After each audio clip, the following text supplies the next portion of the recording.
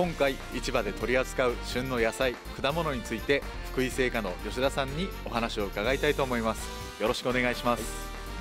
はいわかりました、えー、今回もですね、えー、野菜のごご紹介させていただきますが一部だけでございます。準備してございますので、えー、見ていただきたいと思います、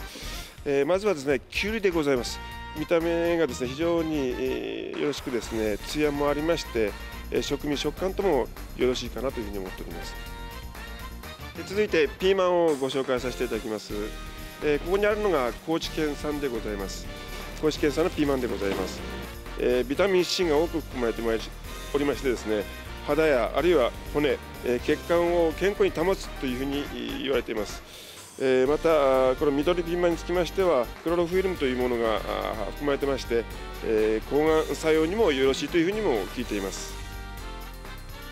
続いてですね、えー、ほうれん草をご紹介させていただきます、えここにありますのが福井市のほうれん草でございます。まあ、その他にですね、え岐阜県あるいは静岡県というとこからの入荷がありまして特徴につきましてはですね旨味があります。えー、そしてまた栄養価の高い緑黄色野菜でございまして、えー、まあ風邪にもでまた動脈硬化の予防にも良いというふうに聞いてますね。吉田さんこちらは春キャベツですか？はい、えー、こちらはですね愛知県産の春キャベツです、まあ、今後は茨城産もあります、えー、でまた福井のキャベツもですね5月中旬から入荷予定でございます。ビタミン U がですね豊富に入ってましてですね胃や十二指腸の活性化にもよろしいというふうに聞いてますね。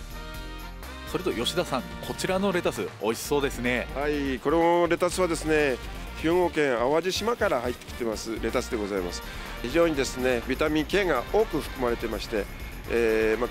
故障症の予防効果もあるというふうに聞いてます、えー、また福井県におきましてはですね福井市のレタス、えー、5月中旬からの入荷予定になっております、えー、続いてはですねナスでございます、えー、ここにありますのがですね高知県のナスでございます。